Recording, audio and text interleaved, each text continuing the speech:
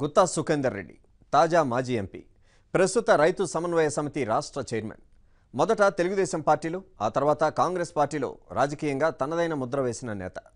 హస్తం పార్టీలో ఎంపీగా మంచి పేరు ప్రాధాన్యం ఉన్న సమయంలోనే ఆయన ఉన్నట్టుండి టీఆర్ఎస్లోకి జంప్ చేశారు.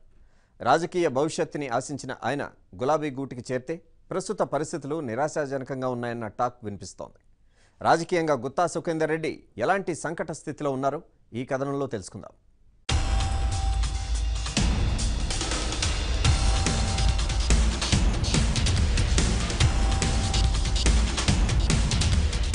అరచేతిలో వైకుంఠం అన్న నానుడి గుత్తా సుఖేందర్ రెడ్డికి అక్షరాల నప్పుతుంది. మంత్రి పదవి విషయంలో కేసీఆర్ ఆయనతో వ్యవహరిస్తున్న తీరు ఆ సామెతను పదే పదే స్ఫురింపజేస్తోంది.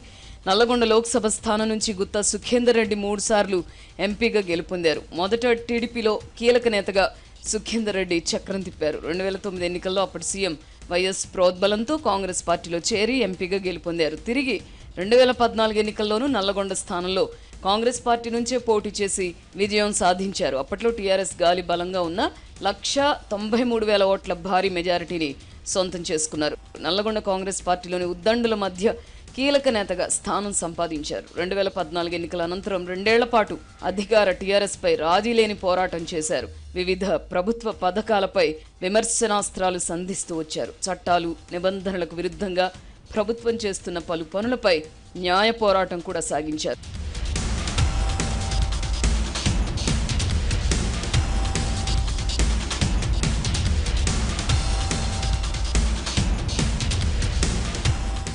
సరిగ్గా ఇదే సమయంలో ఎంపీ గుత్తా సుఖేందర్ రెడ్డిపై టీఆర్ఎస్ అధినేత కేసీఆర్ దృష్టి సారించారు. ఆకర్ష్ వల విసిరారు. టీఆర్ఎస్లో చేరితే గుత్తా చిరకాల కోరికైన మంత్రి పదవిస్తానని హామీ ఇచ్చారు. దీనికి తోడు ఆర్థికపరమైన లావాదేవీల్లోనూ తగిన ప్రాధాన్యం ఇస్తానని కేసీఆర్ చెప్పినట్లుగా అప్పట్లో ప్రచారం జరిగింది. కేసీఆర్ మాటలను విశ్వసించిన నాటి ఎంపీ గుత్తా సుఖేందర్ రెడ్డి తనతో పాటు Miryalaguda MLA Bhaskar Rao Devarakonda MLA Ravindra Kumar DCC working president Pasam రామరెడ్డిలతో పాటు పలువురు జడ్పీటీసీలు ఎంపీపీలను వెంటబెట్టుకుని రెండు వేల పదహారు జూన్ పదిహేనవ తేదీన టీఆర్ఎస్ కూటికి చేరారు.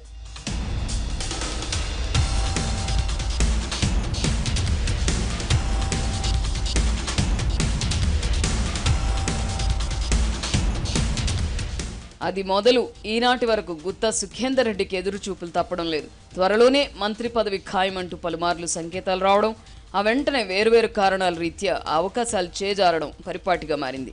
టీఆర్ఎస్లో చేరిన కొద్ది రోజులకే కొత్త జిల్లాల ఏర్పాటు జరిగింది.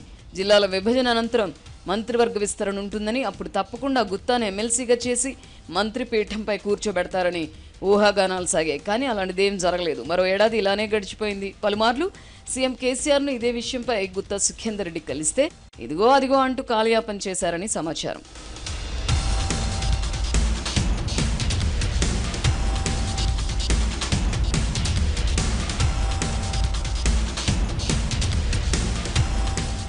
సాధారణ ఎన్నికలకు ముందైనా గుత్తా సుఖేందర్ రెడ్డి ఆస్తి తీరుతుందంటూ ప్రచారం జరిగింది కానీ ఎవ్వరూ ఊహించని రీతిలో సీఎం కేసీఆర్ రాష్ట్ర ప్రభుత్వాన్ని రద్దు చేసి ముందస్తు ఎన్నికలకు వెళ్ళారు దీంతో ఆశ కూడా కొడిగెట్టిపోయింది. అయితే మొన్నటి అసెంబ్లీ ఎన్నికల్లో గుత్తా సుఖేందర్ రెడ్డి ఎమ్మెల్యేగా పోటీ చేస్తారన్న టాక్ వినిపించింది. హుజూర్ నగర్ నుంచి పీసీసీ చీఫ్ ఉత్తంపై పోటీ చేస్తావా అని కేసీఆర్ అప్పట్లో అడిగారట. మీరు చేయమంటే పోటీ చేస్తా అని గుత్తా బదులిచ్చారట.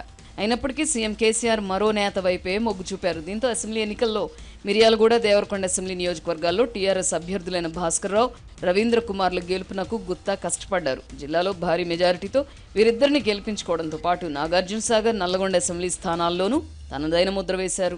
అసెంబ్లీ ఎన్నికల్లో తనకు అప్పగించిన బాధ్యతలు సమర్థవంతంగా నిర్వహించానన్న ధీమాతో గుత్తా సుఖేందర్ రెడ్డి మంత్రి పదవిపై మరోసారి గట్టి ఆశలు పెట్టుకున్నారు. చివరి క్షణం వరకు ఉమ్మడి నల్గొండ జిల్లా నుంచి తనకే మంత్రి పదవి వస్తుందన్న విశ్వాసంతో ఉన్నారు. అయితే ఈసారి కూడా ఆయనను నిరాశ వెక్కిరించింది. ఉమ్మడి నల్గొండ జిల్లా నుంచి జగదీష్ రెడ్డినే మంత్రి పదవి వరించింది. దీంతో గుత్తా తీవ్ర మనస్తాపానికి గురైనట్లు సమాచారం. పార్లమెంట్ ఎన్నికల అనంతరం మరోసారి మంత్రివర్గ విస్తరణ జరుగుతుంది. అప్పుడు గుత్తాకి బెర్త్ గ్యారంటీ అంటూ గులాబీ తమ్ముళ్ళలో కొత్త చర్చ మొదలైంది.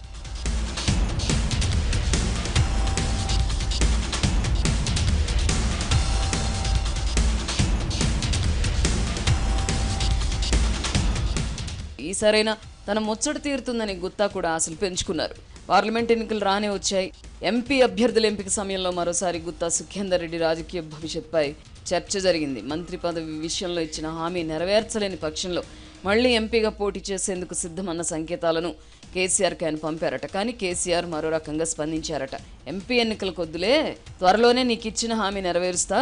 మైనంపల్లి హనుమంతరావు ఖాళీ చేసిన ఎమ్మెల్సీ పోస్ట్ నీకే అంటూ నచ్చ చెప్పారట ఇదే విషయాన్ని ఎంపీ అభ్యర్థుల ప్రకటన సమయంలో మీడియా ముందు కూడా ప్రస్తావించారు. దీంతో ఎంపీ ఎన్నికల్లోనూ పార్టీ అభ్యర్థి వేమిరెడ్డి నరసింహారెడ్డి గెలుపు కోసం గుత్తా పనిచేశారు. చూస్తుండగానే ఎంపీ ఎన్నికలు ముగిశాయి. ఉన్న ఎంపీ పదవి పోయింది. మాజీ ఎంపీగా మిగిలారు.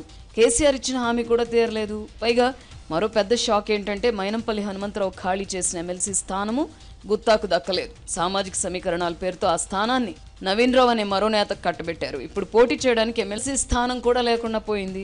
పార్టీ ఫిరాయింపుల ఆరోపణలతో అనర్హతకు గురైన యాదవరెడ్డి ఎమ్మెల్సీ స్థానంపైనే ఇప్పుడు గుత్తా ఆశ పెట్టుకుని ఉన్నారు ఆ వ్యవహారం కూడా కోర్టు పరిధిలో ఉండడంతో ఎప్పుడు తేలుతుందనేది తెలియదు ఒకవేళ కోర్టు తీర్పు అనుకూలంగా వచ్చినా కేసీఆర్ అనుగ్రహం తప్పనిసరి.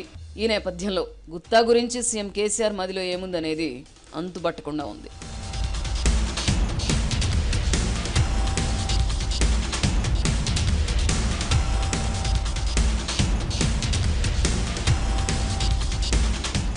తన చిరకాల వాంఛైన మంత్రి పదవి కోసం పార్టీ మారిన గుత్తాకి ఎమ్మెల్సీ పదవి కూడా దక్కడం లేదన్న చర్చ జోరుగా సాగుతోంది. మరోవైపు గులాబీ పార్టీలో ఆయనకు పట్టు దొరకకుండా ప్రత్యర్థులు పావులు కదుతున్నారని ఆయన వర్గీయులు ఆవేదన వ్యక్తం చేస్తున్నారు. ఇటు పార్టీలోనూ అటు ప్రభుత్వంలోనూ ఏ పని చేయలేని నిస్సహాయ స్థితిలోకి గుత్తా నెట్టబడ్డారన్న మాట వాస్తవం. గుత్తా సుఖేందర్ రెడ్డిని కేసీఆర్ కూడా వ్యూహాత్మకంగానే నిర్లక్ష్యం చేస్తున్నారన్న అభిప్రాయం లేకపోలేదు. ఈ పరిస్థితుల్లో మన టైం బాగలేదనుకుంటూ పార్టీలో కొనసాగడం తప్ప మరో ప్రత్యామ్నాయం గుత్తా కనిపించడం లేదు. కాలం గొప్పది అంటూ తరచూ గుత్తా చెప్పే మాటల్నే కొంచెం మార్చి తనకు గొప్ప కాలం ఎప్పుడొస్తుందా అని వేచి చూస్తున్నారని గుత్తా అనుయాయులు చమత్కరిస్తున్నారు. చూద్దాం ఆ గొప్ప కాలం ఎప్పుడొస్తుందో.